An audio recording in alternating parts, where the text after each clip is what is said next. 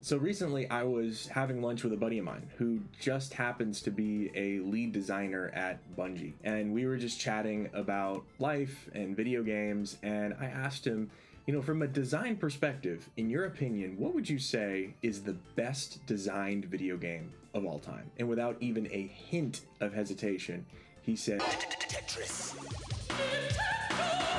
Needless to say, I was extremely excited when I was commissioned to write music for. One second. This. This is the My Arcade Tetris Nano Player Pro miniature arcade cabinet. And this is the My Arcade Micro Player Pro miniature arcade cabinet, slightly larger. And I got to write the music for that, dude.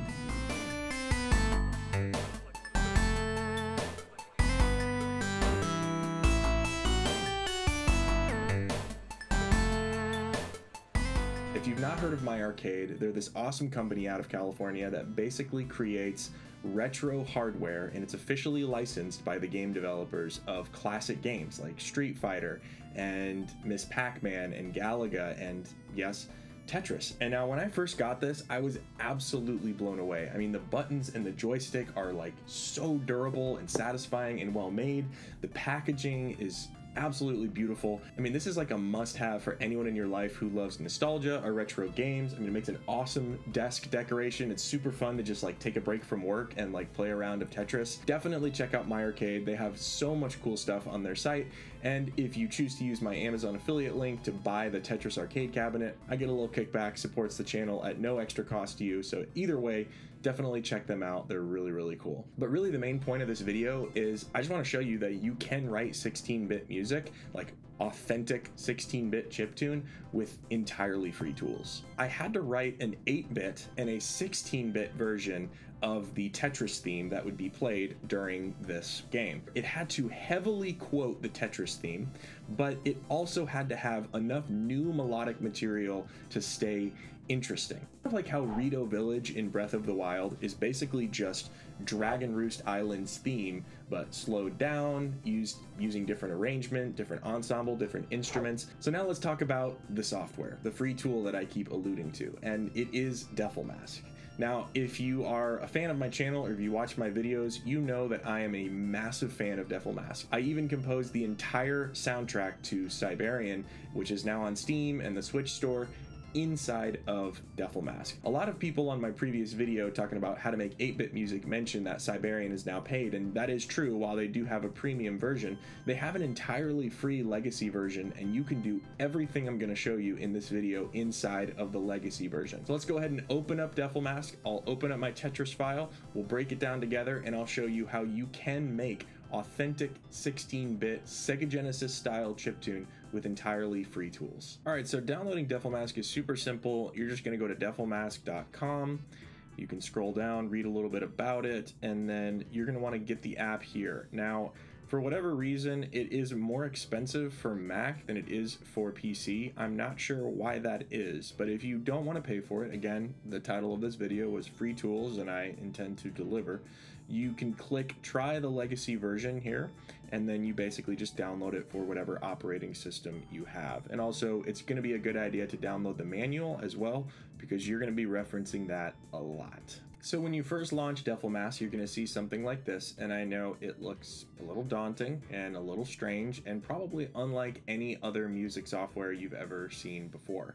It kind of looks like a spreadsheet, but fear not, I am here to help you. Me and King Boo over here are going to guide you through to uh, nostalgic chiptune nirvana here by the end of this video. So let's break down each section of DefleMask to make it a little bit less intimidating. So first up, we have the pattern matrix right here on the far left side of your screen.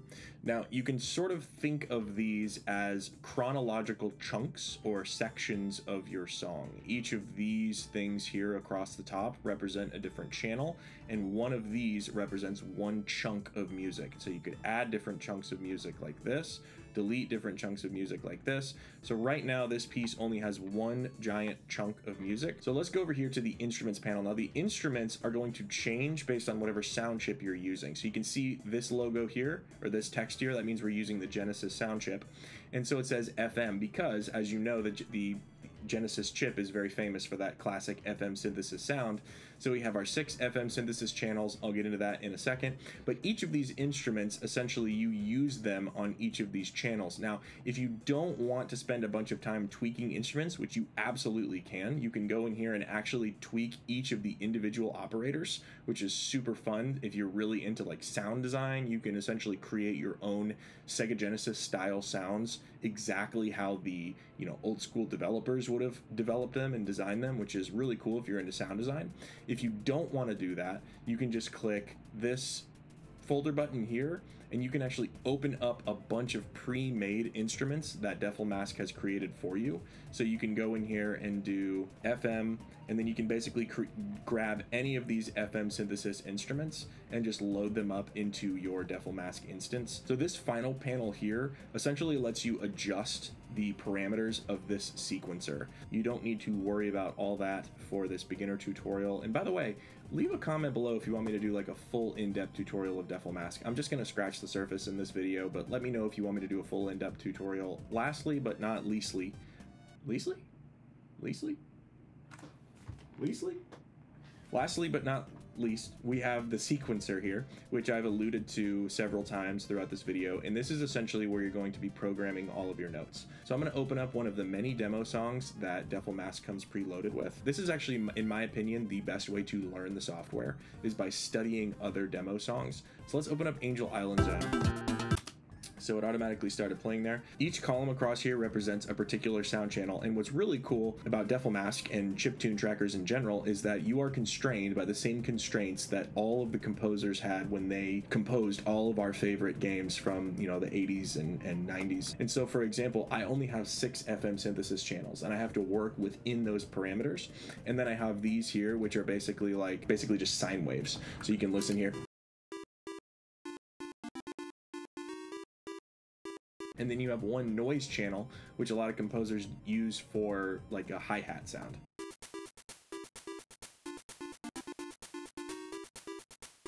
Each channel, you'll notice you have all sorts of different multicolored text in here, basically inputs. These notes here are going to be your actual musical notes. So C3 is going to be the actual C3 like on the piano. So if you actually watch this, if we just solo this FM channel and you watch this keyboard down here,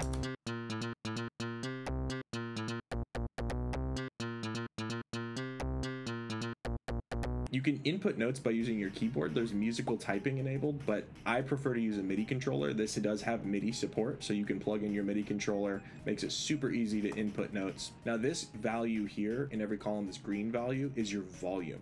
So notice how this is sort of fading down. Now, by the way, it uses a hexadecimal system. So 7F is going to be the loudest possible volume, and it's going to keep going down, down, down, down. So listen, listen to this. Notice how the volume changes in this particular channel.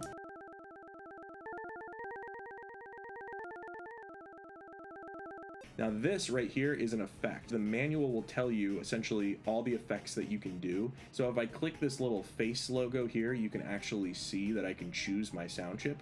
And what's really cool is if I click, let's say I want to click NES, I can say the NES plus the Famicom disk system. So I can click that and notice how all the channels have now changed. We now have exactly how it was, right, with the Famicom disk system, two square wave channels, a triangle channel, a noise channel, a PCM sample channel, and the Famicom Disk System other sample channel. All right, so I will show you more about DefleMask as we go along, but let's rewind a little bit because I want to tell the story of kind of my process of how I wrote this Tetris theme. So the main Tetris theme is extremely simple. It actually only has two sections. There's an A section, the do do do do do do do do do do do do that everybody knows, and then there's the B section, which is the very legato do do do do do do do do, and really the whole piece is just the A section twice, followed by the B section, and then the whole thing loops. So I knew that if I was going to flesh out this piece, I really needed to add quite a bit more original material. I just thought about the Tetris theme, I thought about the game, I thought about the vibes that people have while playing the game. And really what happens is like these musical ideas just start bubbling up in my brain. And what do I do? I capture it with my handy dandy voice memos. My best ideas by far come to me when I'm going for a walk around the neighborhood, doing the dishes, getting groceries. Like that's when the ideas come to me. And so I'm always ready to record those in voice memos. And the positive side of that is that when I come to my software, when I come to DefleMask, I have all these ideas just ready to go. And that's really my first tip when it comes to composing 16-bit music, which is don't come to DefleMask or any DAW or really any piece of technology just trying to compose inside of the software, especially if you're a beginner. Because think about it, if you're trying to compose inside the software, you're not only trying to exercise the skill of composition, but you're also learning a new piece of software while you're doing it. I mean, that's like composition on hard mode. How much easier would it be if you had the idea of the arrangement and the melody or the chords or the rhythm, and it doesn't need to be fully fleshed out. You just have some basic foundational idea of what you want the piece to sound like before you come to DefleMask. That way you can focus on learning the software rather than having to compose on the fly. Also, I should mention here that if you're like, well, Matt, I don't really know how to even create these melodies and harmonies that you're talking about to begin with, uh, I have a free one and a half half hour workshop where I basically guide you through everything you need to know a full roadmap to becoming a video game composer. It is completely free. I essentially exhaust all my knowledge on everything you need. And then, if you want to go even deeper, I have a fully paid course where I essentially guide you through everything melody writing, uh, the importance of motifs, harmony. There's quizzes, there's all sorts of stuff to basically give you a super solid foundation of video game composition. So, whether you're a developer, whether you're an aspiring composer, or you just want to improve your skills, I would love for you to check out those resources. Definitely at least check out the free workshop. And if you want to go deeper, check out the paid course as well. So, once I had some arrangement ideas, I knew that I was ready to open up DefleMask and start putting some of these things down in the tracker. So, in the beginning here, you'll hear this introduction.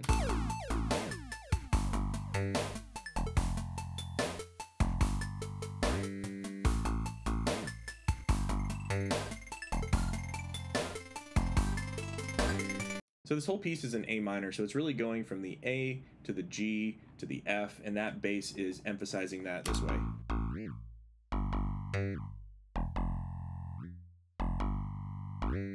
And you hear that boo wee. That is the portamento slide. Zero three is the portamento slide up. Zero two is the portamento slide down. So listen to this introductory effect as it comes in here notice that the volume is going down with each cycle. So now like watch this. If I were to select all of these effects here and I were to delete them, listen to what it sounds like now. Not nearly as compelling, but when I put the Comportamento slide in there, that's that chip tune vibe we all love. The intro continues. I basically repeat that same A to G to F to G to A in the bass, except this time I'm actually starting to phase in some other effects here.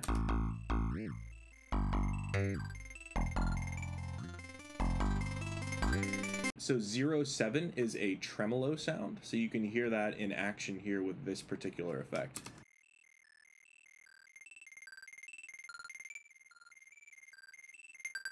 kind of adds some build up, some excitement. FM1, I almost always use for bass. I just I've always done that. FM2 and 3 and 4 and 5 I'll use interchangeably for things like melodies, counter melodies, uh, pads, organs, guitars, things like that. FM6 I always use for drums. And yes, your boy is using the drum samples from Sonic 1 and 2. I mean, come on, bro. Did you think I was going to do anything else? Let's go, dude. So now moving on to the next section of the introduction, you'll notice what I'm doing here is heavily quoting the main motif, but not quite getting into the meat and potatoes of the actual melody. So here's what that sounds like. Now notice how there's an echo there. You cannot produce effects like we would think of them in a DAW in a tracker. Like you can't do there's not like an echo plugin or a reverb plugin, so you have to make your own echo, which I actually think is super fun. So let's listen to that. And really all it is is exactly what you would think. It's the same note, but it's just sequentially lowered in volume over time. And I'm matching that with the PCM channel here. So the drum beat is very sparse, so what I like to do is sort of in those subdivisions add some more movement with these arpeggios.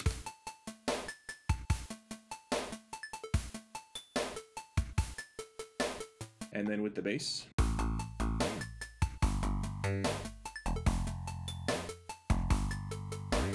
Now you'll notice here the hi-hat actually changes from an open to a closed hi-hat. Listen to the sound. So the way I'm doing that is I'm actually switching instruments. And one of these is a 09 is going to be my open hi-hat. So if I scroll down to my instrument list, see this one right here, 09, and if I was if I was organized, I would label that. But that's going to be my open hi-hat and then 08 is going to be my closed hi-hat. The way that you set this up is super simple. You just go into the instrument, see this volume channel right here? I'm slowly bringing this curve down so that when the noise channel hits, it goes like tss, like an open hi-hat. But then on the this one on the closed hi-hat, notice how drastic it is. So it's like so it kind of emulates what a real drummer would do. All right, so let's continue on. So here's kind of the quote.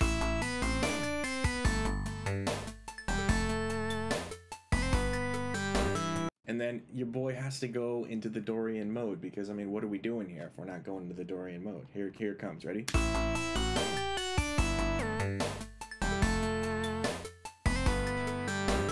Now, if you're paying attention, you'll also hear that I added in a counter melody. This is also a really great way to take a super familiar theme and to spice it up, to make it different. Here is my counter melody in the context with bass and drums.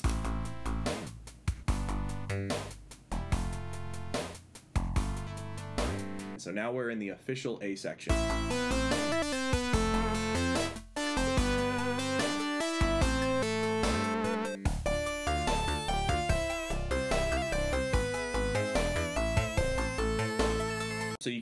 That counter melody here.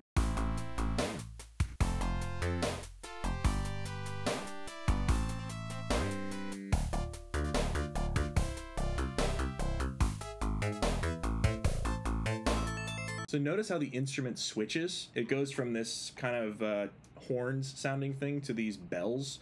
That's because I'm actually switching instruments, which is pretty fun actually. The fact that you can go back and forth between instruments and switch them really quickly on the fly.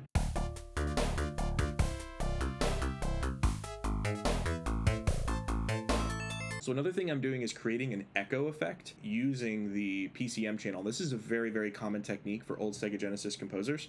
So here I have my FM synthesis um, main melody here, but then notice how it's playing the exact same thing except a couple octaves away, but it's playing it one row delayed. So this is how it sounds without the echo chorus, without the PCM channel activated.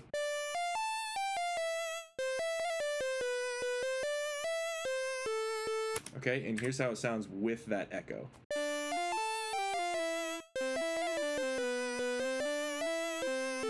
And then of course we have this really cool effect that goes up like this. Listen to this.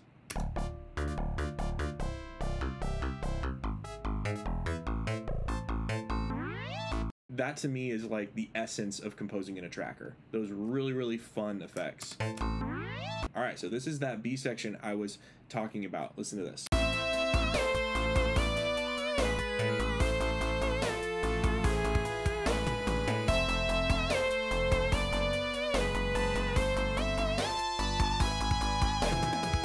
Again, I feel like what makes this is that counter melody.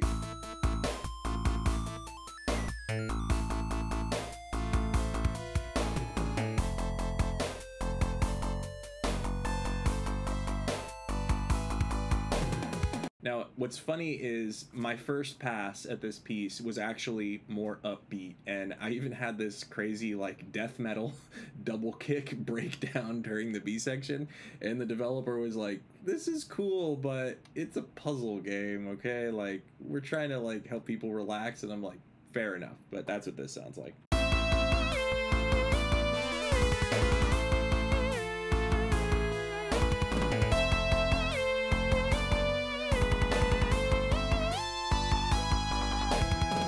So after the B section, I knew that I couldn't just loop back to the A section. I needed to add something a little different. I needed to take the piece in a little bit of a different direction. So this is the C section. This is completely original composition.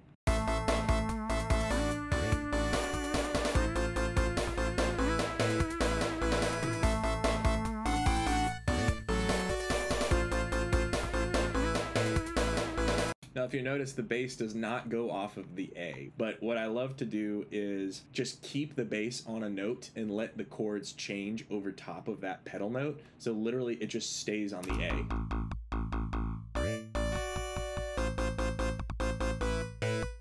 Now this is probably my favorite part of the piece. So what I do is is a little bit of a fake out. I make the listener think we're going back to the A section by quoting that really famous do do do do do do but rather than going into this very typically minor sort of cadence, I completely change it up and do this super jolly like celebratory major key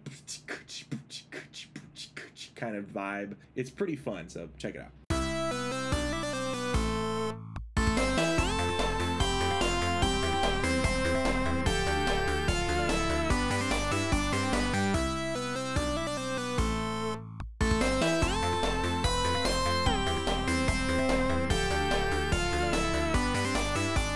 Now this section basically is a fully chromatic walk down from the A minor to the E because the E is the five chord back to the A. So that if I knew if I went from A to E, it would be a perfect transition for the loop. So that's what this sounds like.